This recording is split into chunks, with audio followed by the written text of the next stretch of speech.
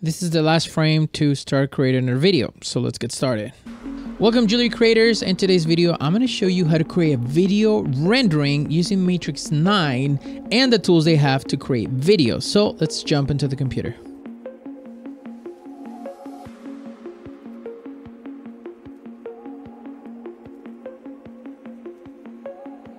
Okay, so here in the computer, you're gonna open your rendering engine or your tab where you're gonna create all your layers. Um, you're gonna put all your materials, your gold, your stones. Um, if you're gonna create your ground plane, this is where you do it. Okay. And the second thing you need open is here where you put your animation builder. Okay. So once you apply everything, just make a couple of tries of a quick render before we start making our video. So it's kind of there. It's pretty cool. Um, there's that background. Let's try to put it here because this is this is the best um, area to create that to see that light. Okay, that's much better. Let's see. I'm using 600 by 600 to create those pictures. It looks pretty good. And I'm not using that much of higher resolution because I'm gonna post this on Instagram or any other type of social media it compresses it a lot. So i don't need to have like something that's going to take like five hours to render where it's going to compress it down to 720 um, so it's very important that if you if you're going to make this render for social media don't make it like 1024 by 1024 or even 800 by 800 is acceptable. But if you look at the the time it's going to uh, to uh, the time that it's going to take you to render this is going to be a lot more. You see, it's taking a little bit longer. Now imagine that you do 360 pictures of this rotating. It's going to take a long time. So it's not necessary to go super high resolution for something that you're going to render just for social media. Now, if you want to and you're going to leave it overnight, that's perfect. But sometimes I just need to send a customer something real quick. So this is the best way to do it. Okay, let's bring it down to 600 by 600. Even 500 by 500 is acceptable, but I think for this it's perfect. Now, this computer it's a little bit of overkill. It's uh, AMD 12 core 24 thread, and it has a 12 gigabyte uh, video GPU. So I also have uh, 120 uh, gigs of RAM. So this computer is built and it might be quicker than your computer, but with this old version of Matrix 9, it should be quicker. Now, I don't have a lot of things on it. I'm trying to do it as simple as possible, but I took the liberty to create a little bit of better background. Um, if I switch to my favorite, the white mate background, it's a lot quicker because there's an, there aren't a lot of artifacts around it. Now it's gonna be brighter, but you can see it's a lot quicker when you're gonna do all your frames, okay? All right, so for this render, I went 800 by 800, which is here. This is the resolution I used. Uh, and another thing that I did is I use a lot of frames. So knowing your how many frames you're gonna put in this in in your entire video the more the frames you put the better the video is okay? So you already have your scene. Let's start with that. As long as you're happy with that render that's the most important. So i use the um, white to black reflective brush. So that's the background i like for this video. So i apply it and i render. I look at it. Okay perfect that looks great. Once you're happy with the way the render looks and kind of the position that you're gonna like it, we're gonna go to the second step, which is how you put your cameras or the animation, okay? So I'm gonna put it in very simple terms, okay? So you need, let's um, take off the lights or the background. Okay, so you, you need two things for this render you need two circles as simple as that. So one circle is going to be for your camera and the other circle which is the smaller one control m it's going to be for your target. These two are very important okay? And then we're going to move into the animation. So here in the animation you're going to change it from fixed circle to follow path okay? The bigger circle is going to be your camera. So you select the curve and you put it on camera. Then you select the inner circle and then you're to put it as target. Okay. And then you're to test here the frames. We're to move on to this other area. But for that, we're just to test how it rotates. Okay. Let me explain to you in simple terms what the camera will look like. So if I move it around here and I keep rotating my frames, see it goes back to that spot. So let's turn on our background and let's go and render it. So I, I tested that way. I put the camera and I go a couple of frames and I render again. Okay, that looks pretty good. Then I go, let's say three fourths of the way and I render again just to see the reflections if I'm gonna like it. See now it's creating this environment as it turns. It's not just like plain black and you can see the brushing in here which is really really cool. Okay so now let's go halfway now render again. You can use it with less frames. You can use it with four frames if you want to. But since this is gonna be a long video, see now it's wider um, I went ahead and created something a lot longer just to show you what you can do with V-Ray and Matrix 9. See, this is this this section is gonna take a lot longer because it's doing the shadows. So sometimes with white mate or anything in this mate is gonna be a lot quicker. With backgrounds that have a lot more reflection is gonna take longer. So have that in consideration, okay? All right, that's pretty good. Then we go three quarter um three quarters of the way. All right, it's starting to get dark and it's gonna go down to here. I'll render it again. I really like the background, it gets darker again. So it's gonna have this small transition where it gets darker, wider, more reflection to less reflection. See this, this are gonna take a lot less time to render, okay? So let me explain to you why do I have this? The only thing I need to worry about is my frame count, okay? So the easiest way to explain it to you is if I go to animation, where's the animate or the render uh, tab? Let's go here to render tools. Okay, so the easiest way that I can explain it to you, if we go right here to animation setup, we're gonna set up path animation, okay? All right, so it's gonna ask me, select the camera path. So that's gonna be the green circle, okay? And then it's gonna ask me for the target. We're gonna do the same. We're gonna select that green uh, line. We're gonna do, depending on how much you want it to take, 360 frames is acceptable. I went ahead and doubled it. I did 720, but let's just use 360 so you can see kind of what the animation is gonna do for you. Now, this is not gonna animate and render it. It's just gonna show you what the camera does and how the frames are gonna look together. Usually this is where I test if I want something that is quick or I want something like a lot slower. So let's start with 360, which I think it should be the baseline for an okay rendering, okay? And I'm gonna put okay. Okay, let's go back right here to the render. Let's go back and let's, I don't need to turn on the background now because I'm just gonna press play. And let's just go to animation preview. So this is how quick the animation is going to be when it's done. Not what is processing, it's just what is going to look like when it's done. Okay, so if I double that to 720, watch what happens. Let's go again. Go to animation setup. Let's go again, set up path animation. Okay, let me go back outside. Select that one and then select this one. It's gonna ask me again. Now let's go 720 so 720 frames 720 pictures let's click enter now let's press play or preview animation uh, it's a lot slower and this is a little bit more less rush but it's gonna take twice as much time that's the only difference. Now it's double the frames.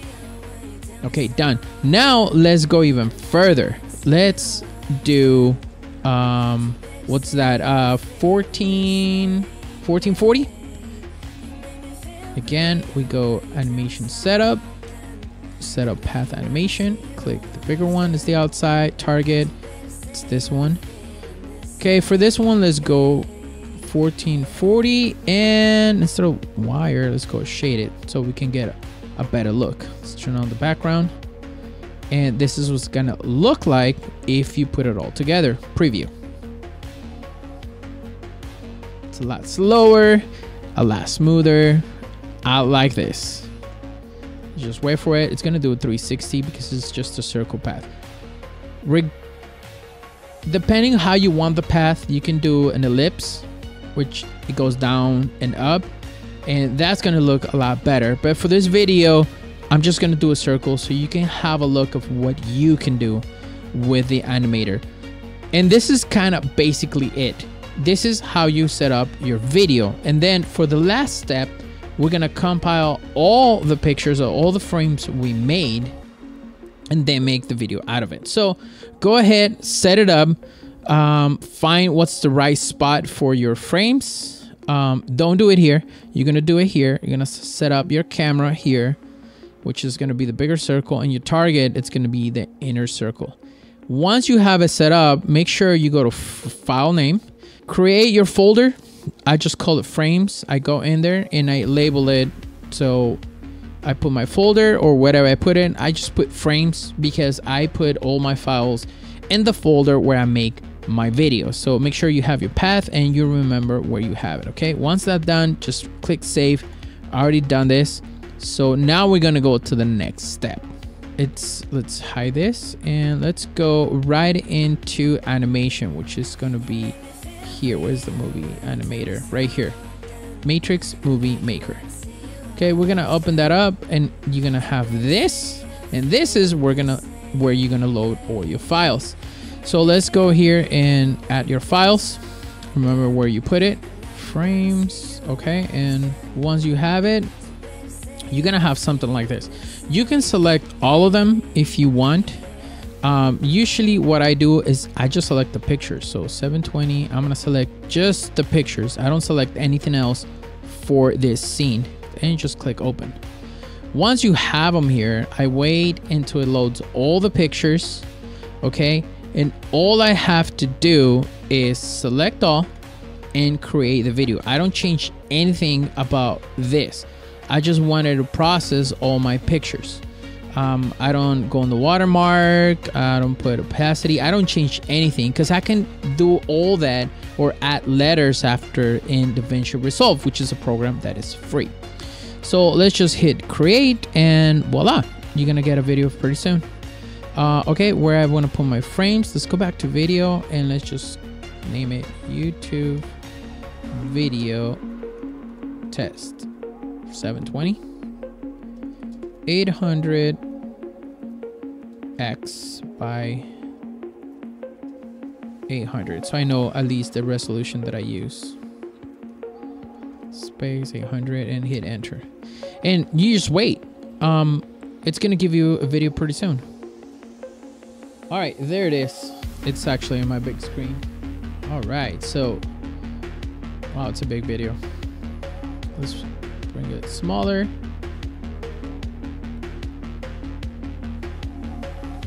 Okay let's take this out now. And now the video it's gonna look something like this. You can see the reflections. It's actually pretty smooth. I really like what the video looks like. It's like kind of like in water, the reflections. It's pretty good. And this is using Matrix 9. So even though it's an older software, at least you understand what frames are and how to turn around kind of a quick render. Or at least the render right now it's looping. It looks longer because it's just looping around it. But a lot of software they have this a this same principles. Um, just test a few still renders you know at the beginning uh, one fourth of the way halfway three quarters of the way and at the end. And once you see kind of what it looks like you're gonna have to commit to that um, let's just say you're gonna have to commit to that render and once you kind of get used to it for the most part, you're gonna get really good results uh, all the time, or at least presentable. Remember that you need to have a really good uh, model to to render. And as you can see, I didn't even use diamonds. I never use the diamonds on, on, on Matrix 9. I use moissanite and um, a lot of my customers have I've seen they react better to the moissanite color than the actual diamond color for some reason. And then here you can add any effects that you want. Now, you can leave it a loop, but if you want this video to be even longer, you can drop it on DaVinci Resolve and kind of put it three, four times. I don't know. You can make this video longer. It's about 17. Let's see. I think it's 20 seconds. Let me see. How long is this video? So 14 seconds, which is just about what I do in other programs. I'll be between 15 to 20 seconds is the max that I would do a video because they can I can loop it um, or depending how much resolution I want in it. The slower it is um, or the more frames that you have is the there's a smoothness to it. You know, if you do 360, it might look a little bit not that great, but at least 360 is the minimum that I start with. Okay. All right, friends, I hope that this video was helpful for you and how to create a turntable or video turntable in Matrix 9. You can use a lot of the same concepts with other software like Keyshot, Mavericks. Um, it's just the process is going to be kind of different, but at least you know how to preview it, let's just say in Rhino, and how to set up you've seen very quickly so you can test it, okay? All right, so if you're really serious about taking your rendering skills to another level, I have a course that is in pre-sale right now. Depending when you're watching this video, it might be already live. But if today you want to, you say this, this is a great tutorial, but I want to take my renderings to another level, you can look at in the description below. There's a link to my course. Um, it's in discount right now, and if you are in the pre-sale phase, you're gonna get a massive discount over to 80% off on that course, depending on when you're watching this video. Now, if you still need help, my contact information is in the description in the description we can set up a video meeting and i can at least give you pointers of how to make your renderings better but for the most part this course is not for everybody because you need to do your homework, meaning you need to practice a lot the concepts where I'm going to show you exactly all the steps that I take to from creating that a model that looks realistic all the way to how I create materials. And if you're the person that is just looking for a couple clicks and render, this might not be the course for you. But at least, you know, you know that there's a course where I'm gonna show you all the little secrets and tips from the beginning before I start the rendering all the way to how I finalize renderings. Also, this course is focused on efficiency, not something that is going to take you hours and weeks to create a render. This is high quality videos with a short period of time where there's a formula that within years of experience in trying to render, trying to render, I have found those little secrets that make my renderings a little bit more realistic and also more efficient where I don't have to wait weeks, days, you know, within a few hours you get really high quality renderings. So make sure you go in the description and you take a look at the website um, and take advantage of the discount because it's not going to be there for long. So if you need to contact me, my information is in the description. You can also follow me on Instagram. I'll look at some of my work and I would love to meet with you and actually share with you some of the companies that I have worked with. Thank you friends for watching this video. If you have a comment or a suggestion, you can do it in the comment section below. Don't forget to hit that bell button so YouTube lets you know every time we make new tutorials or new videos. If you need help, you know where to contact me. I'll talk to you soon, friends. I'll see you in another video. Ciao.